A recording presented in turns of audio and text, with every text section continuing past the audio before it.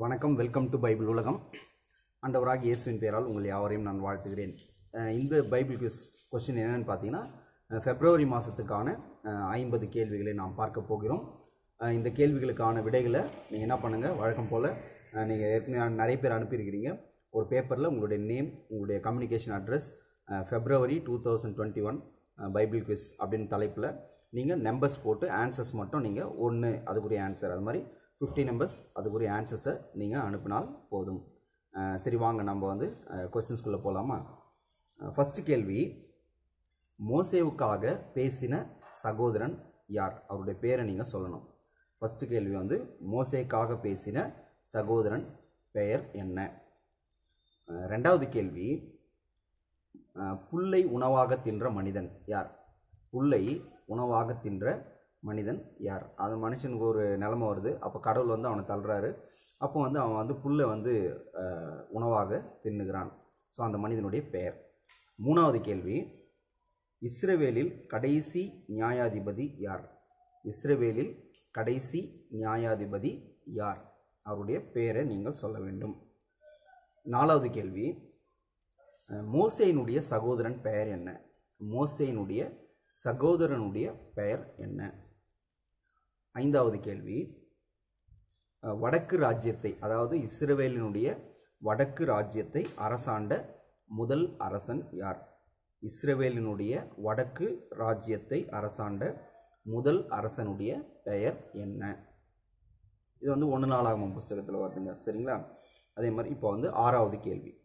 மோசையின் பெற்றோர் யார்? மோசையினுடைய அப்பா அம்மா யார்? நிறைய இடத்துல பார்த்தீங்கன்னா ஒரு சில கொஸ்டின்ஸ் நம்ம பைபிள் ரிப்பீட்டடாக கூட இருக்கும்.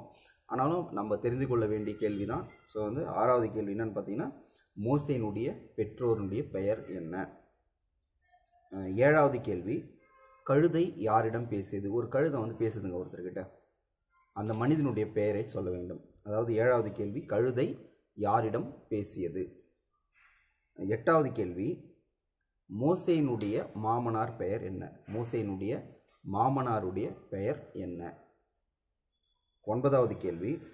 இஸ்ரவேலினுடைய தெற்கு ராஜ்யத்தை அரசாண்ட முதல் ராஜா யார்? இஸ்ரவேலினுடைய இஸ்ரவேல் தேசத்தினுடைய வடக்கு தெற்கா ரெண்டா பிரியுது இல்லையா? அப்போ வந்து தெற்கு ராஜ்யத்தை அரசாண்ட முதல் அரசன் யார்? அவருடைய பெயரை சொல்லும். பத்தாவது கேள்வி. மொர்தேகாய்க்காக தூக்கு மரம் செய்தவன் யார்? மொர்தேகாயை வந்து நம்ம கொலை செய்யணும் அப்படின்னு சொல்லிட்டு தூக்கில் மாட்டணும்னு சொல்லிட்டு ஒரு பெரிய தூக்கு மரத்தை ஒருவன் செய்கிறான். அந்த மனிதனுடைய பெயரை சொல்லணும். இது வந்து எஸ்எர் புஸ்தகத்தில் வருது. பதினோராவது கேள்வி. மோசையினுடைய சகோதரி யார்? மோசையினுடைய சகோதரன் ஒரு கேள்வி வந்துச்சு இல்லையா? இந்த கேள்வி வந்து பார்த்தீங்கன்னா பதினோராவது கேள்வி. மோசையினுடைய சகோதரி யார் என்று சொல்ல வேண்டும். அடுத்து வந்து பன்னெண்டாவது கேள்வி. பவுல் விசுவாசத்தில் உத்தம குமாரன் என்று யாரை சொல்லுகிறார்? அப்போ ஆகிய பவுல் வந்து சொல்கிறாருங்க என்ன சொல்கிறாருன்னா விசுவாசத்தில் உத்தம குமாரன் என்று யாரை சொல்லுகிறார்? பதிமூணாவது கேள்வி. பவுல் ஒன்று குறைய நாற்பது அடிகள் எத்தனை தரம் அடிக்கப்பட்டார்? அதாவது ஒன்று குறைய நாற்பது அடிகள் இத்தனை தரம் நான் அடிக்கப்பட்டேன்? அப்படின்ட்டு பவுலே சொல்கிறாருங்க அது வந்து எத்தனை தடவை அப்படி அடி வாங்குறாரு? அதுதான் கேள்வி. பதினாலாவது கேள்வி. ஈசாக்கினுடைய தந்தை யார்? ஈசாக்கினுடைய தந்தை யார்? பதினைந்தாவது கேள்வி. தன் சொந்த தம்பியை கொன்றவன் யார்? அவன் அந்த தம்பியை கொன்ற அந்த மனிதனுடைய தாய் வந்து பார்த்திங்கன்னா ஏவாள். சரிங்களா? தன் சொந்த தம்பியை கொன்ற மனிதன் யார்? அந்த மனிதன் வந்து அவங்க அந்த- அந்த மனிதனுடைய தாய் வந்து ஏவாள்.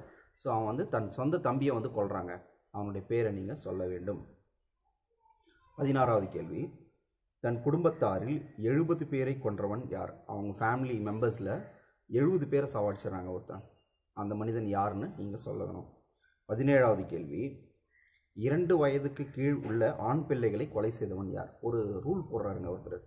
ரெண்டு வயசு அதுக்கு கீழே இருக்கிற ஆண் பிள்ளைகளெல்லாம் கொலை செய்யணும் அப்படின்னு சொல்லிட்டு அந்த மனிதனுடைய பெயர் என்னன்றதை கண்டுபிடிக்க வேண்டும். பதினெட்டாவது கேள்வி. எபிரேயர்களை விடுவிக்க மறுத்து பத்து வாதைகளை பெற்ற ஒரு நபர் யாருங்க?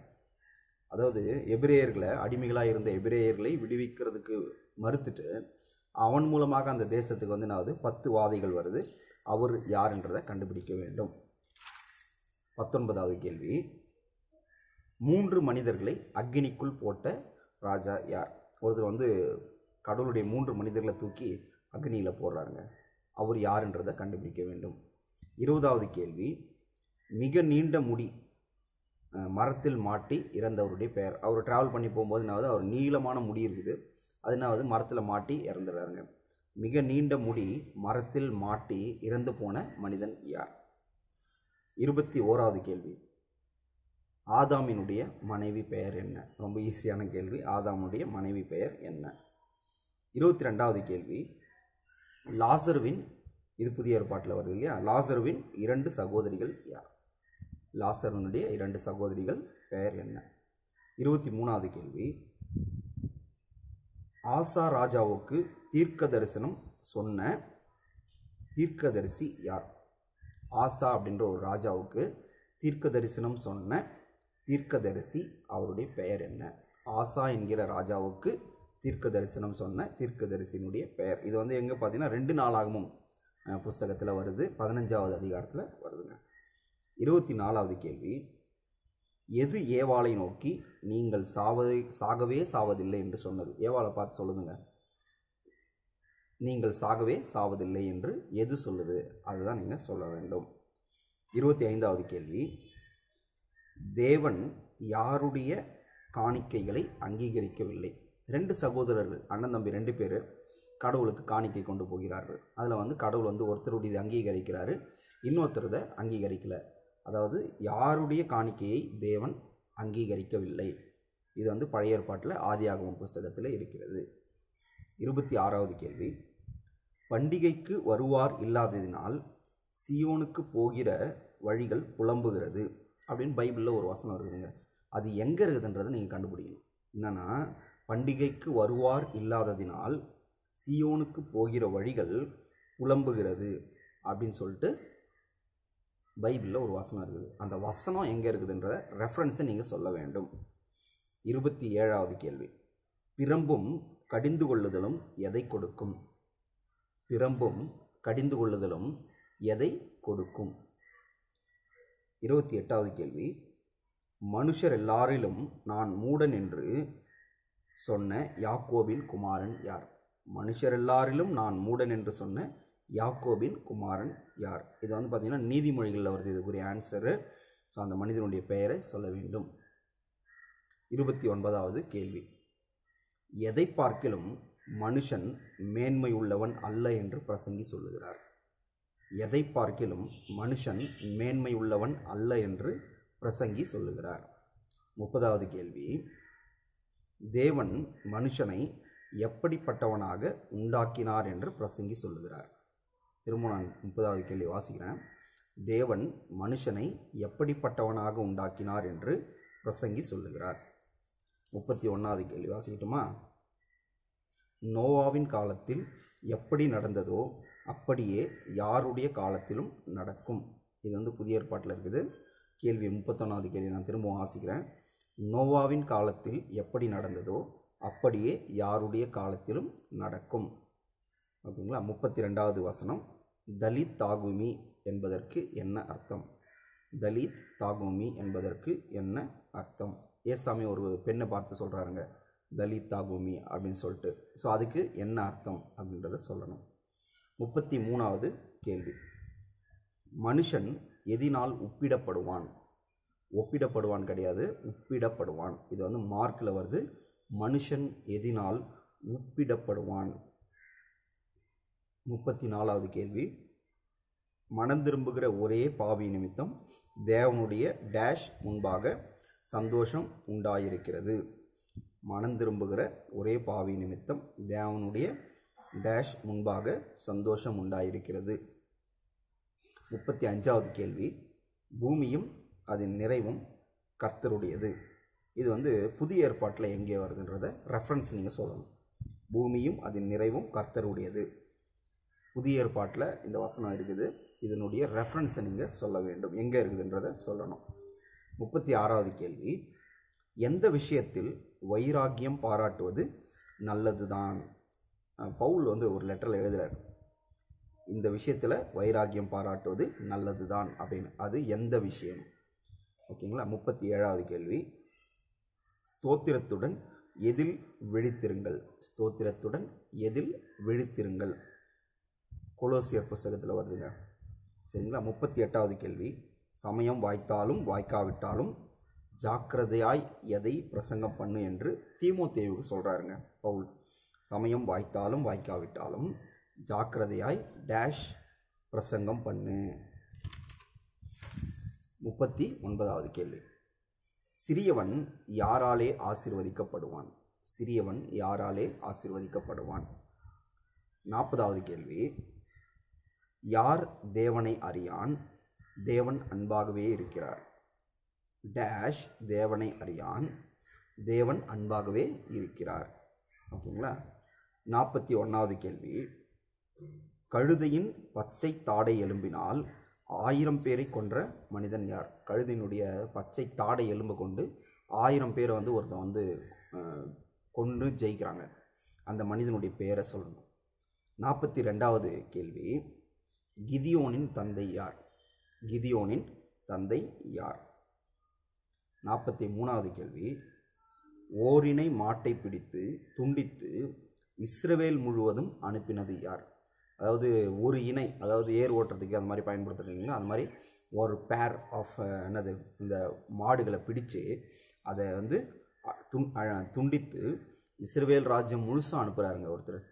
அது யாருன்றதை கண்டுபிடிக்கணும். இது வந்து பார்த்தீங்கன்னா ஒன்று சாமியல் புஸ்தகத்தில் வருது. ஓரினை மாட்டை பிடித்து துண்டித்து இஸ்ரவேல் முழுவதும் அனுப்பின மனிதன் யார்? நாற்பத்தி நாலாவது கேள்வி.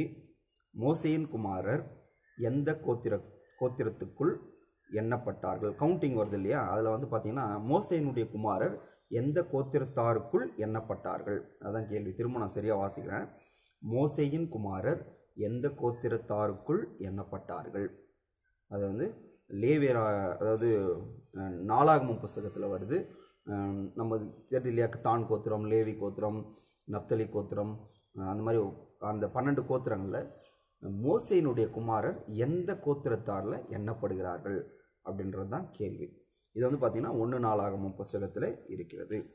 நாற்பத்தி அஞ்சாவது கேள்வி. தேவன் எங்கே தேவன் எழுந்தருளியிருக்கிறார்?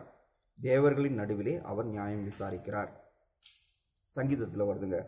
அதாவது டேஷ் தேவன் எழுந்தருளி இருக்கிறார் தேவர்களின் நடுவிலே அவர் நியாயம் விசாரிக்கிறார். நாற்பத்தி ஆறாவது கேள்வி. யாருடைய தீபம் காரிருளில் அணைந்து போகும்? யாருடைய தீபம் காரிருளில் அணைந்து போகும்? நாற்பத்தி எட்டாவது கேள் நாற்பத்தி ஏழாவது கேள்வி. எது யுத்த நாளுக்கு ஆயத்த ஆயத்தமாக்கப்படும்? ஜெயமோ கர்த்தரால் வரும். ரொம்ப ஈஸியான கேள்வி தான் எது யுத்த நாளுக்கு ஆயத்தமாக்கப்படும்? ஜெயமோ கர்த்தரால் வரும். நாற்பத்தி எட்டாவது கேள்வி. பரலோக ராஜ்யம் யாருடையது? மத்திய அஞ்சாம் அதிகாரத்தில் இருக்குது. அந்த வசனம் நீங்கள் கண்டுபிடிக்கணும். பரலோக ராஜ்யம் யாருடையது? மத்தேயு அஞ்சில் வருகின்ற அந்த ஆன்சரை கண்டுபிடிக்க வேண்டும். நாற்பத்தி ஒன்பது. எந்த மரத்தினால் ஒரு ஓமையை காத்துக்கொள்ளுங்கள்? இயேசு வந்து சொல்கிறாருங்க இந்த மரத்தினால் ஒரு ஓமையை காத்துக்கொள்ளுங்கள் அப்படின்ட்டு சொல்கிறாருங்க இது வந்து மத்தேயில தான் வருது. இயேசு சொல்கிறார் என்னென்னு? இந்த மரத்தினால் ஒரு ஓமையை காத்துக்கொள்ளுங்கள் அப்படின்னு. ஸோ அந்த மரத்தினுடைய பெயர் என்ன? ஐம்பதாவது வசனம் தேவ சந்நிதிக்கு சென்று பேச முடியாதவனாய் வெளியே வந்தது யார்? கடவுளுடைய சந்நிதிக்கு போய் அவனுடைய முறைமையின்படியாக சேவை செய்கிறதுக்கு போகிறார் அப்போ ஒரு நாள் வந்து கடவுளுடைய சன்னதிக்கு போயிட்டு திரும்பி வரும்போது பேச முடியாதவராக வரார். அவருடைய பெயரை சொல்ல வேண்டும். இப்போ வந்து ஐம்பது கேள்விகளை நான் வந்து உங்களுக்கு கொடுத்துருக்குறேன். நீங்கள் வந்து நிறைய பேர் வந்து நீங்கள் வாட்ஸ்அப்பில் நீங்கள் பேப்பரில் எழுதி அதை ஃபோட்டோ எடுத்து வாட்ஸ்அப்பில் அனுப்பியிருக்கிறீங்க. அதே போல் வந்து போஸ்ட் பாக்ஸில் நீங்கள் சிலர் அனுப்பியிருக்கிறீங்க. உங்களுடைய முயற்சிக்கு என்னுடைய அன்பின் நன்றிகளையும் வாழ்த்துக்களையும் நான் தெரிவித்துக் கொள்கிறேன். நாங்கள் வந்து அதுக்குரிய பார்ட்டிசிபேஷன் சர்டிஃபிகேட்ஸ் நாங்கள் ரெடி பண்ணி கொண்டு இருக்கிறோம் ஸோ வெகு விரைவில் உங்களுக்கு அதுக்குரிய பார்ட்டிசிபேஷன் சர்டிஃபிகேட் உங்களை வந்து சேரும். இந்த ஐம்பது கேள்விகளையும் அதுக்குரிய ஆன்சரையும் நீங்கள் கண்டுபிடிங்க. அந்த ஐம்பது ஆன்சர்ஸை நீங்கள் எங்களுக்கு அனுப்புங்க. இதனுடைய மிகப்பெரிய நோக்கம் என்னவென்று சொன்னால் நீங்கள் வேதத்தை இன்னும் ஆழமாய் கற்றுக்கொள்ள வேண்டும். உங்களோடு கூட சேர்ந்து நாங்களும் வேதத்தை கற்றுக்கொள்ளுகிறோம். உங்களுக்கு இதன் மூலமாக ஏற்பட்ட அனுபவங்களை எங்களோடு கூட பகிர்ந்து கொள்ளுங்கள். நீங்கள் என்ன பண்ணணும்? ஆன்சர் வந்து ஒரு பேப்பரில் உங்களுடைய பேர் உங்களுடைய கம்யூனிகேஷன் அட்ரஸ் அதுபோல் வந்து உங்களுடைய டைட்டில் வந்து என்ன சொல்லணும்னா ஃபெப்ரவரி ரெண்டாயிரத்தி இருபத்தி ஒன்று வேத வினா போட்டி அப்படின்னு சொல்லிட்டு இந்த ஐம்பது கேள்விகளுக்கும் உங்களுடைய பதில்களை எங்களோடு கூட பகிர்ந்து கொள்ளுங்கள். உங்களுக்காக நான் எல்லாம் வல்ல இறைவனிடம் பிரார்த்தனை செய்கிறேன். இன்னொரு வீடியோவிலே நான் உங்களை சந்திக்கும் வரை விடைபெறுகிறேன். God bless you from Bible உலகம். சமாதானத்தின் தேவன் தாமே உங்கள் அனைவரோடு கூட இருந்து உங்களை ஆசிர்வதித்து பாதுகாத்து வழிநடத்துவாராக. ஆமீன். God bless you